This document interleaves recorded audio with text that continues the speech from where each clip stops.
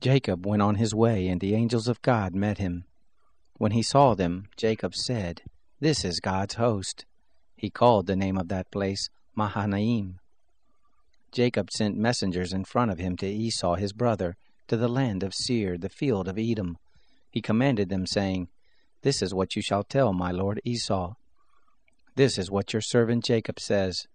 I have lived as a foreigner with Laban and stayed until now. I have oxen, donkeys, flocks, men servants, and maid servants. I have sent to tell my Lord, that I may find favor in your sight. The messengers returned to Jacob, saying, We came to your brother Esau. Not only that, but he comes to meet you, and four hundred men with him. Then Jacob was greatly afraid and was distressed, and he divided the people who were with him, and the flocks, and the herds, and the camels into two companies, and he said, if Esau comes to the one company and strikes it, then the company which is left will escape. Jacob said, God of my father Abraham, and God of my father Isaac, O Lord, who said to me, Return to your country and to your relatives, and I will do you good. I am not worthy of the least of all the loving kindnesses and of all the truth which you have shown to your servant. For with just my staff I passed over this Jordan, and now have become two companies. Please deliver me from the hand of my brother, from the hand of Esau, for I fear him, lest he come and strike me, and the mothers with the children. You said, I will surely do you good, and make your seed as the sand of the sea, which can't be numbered because there are so many. He lodged there that night, and took from that which he had with him a present for Esau his brother, two hundred female goats and twenty male goats, two hundred ewes and twenty rams, thirty milk camels and their colts, forty cows, ten bulls, twenty she donkeys, and ten foals.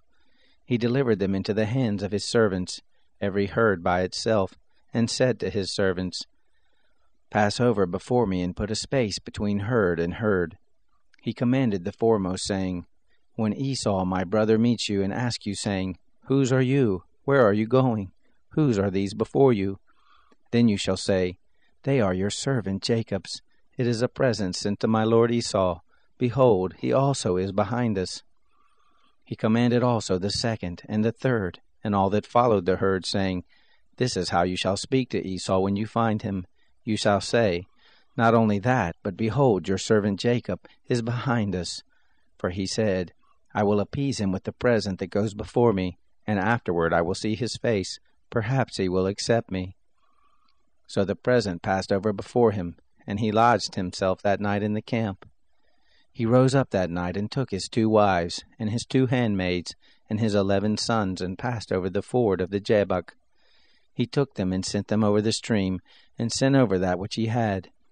Jacob was left alone, and wrestled with a man there until the breaking of the day. When he saw that he didn't prevail against him, he touched the hollow of his thigh, and the hollow of Jacob's thigh was strained as he wrestled. The man said, Let me go, for the day breaks. Jacob said, I won't let you go unless you bless me.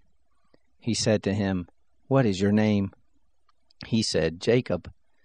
He said, Your name will no longer be called Jacob, but Israel, for you have fought with God and with men, and have prevailed. Jacob asked him, Please tell me your name. He said, why is it that you ask what my name is? He blessed him there. Jacob called the name of the place Peniel, for he said, I have seen God face to face, and my life is preserved. The sun rose on him as he passed over Peniel, and he limped because of his thigh.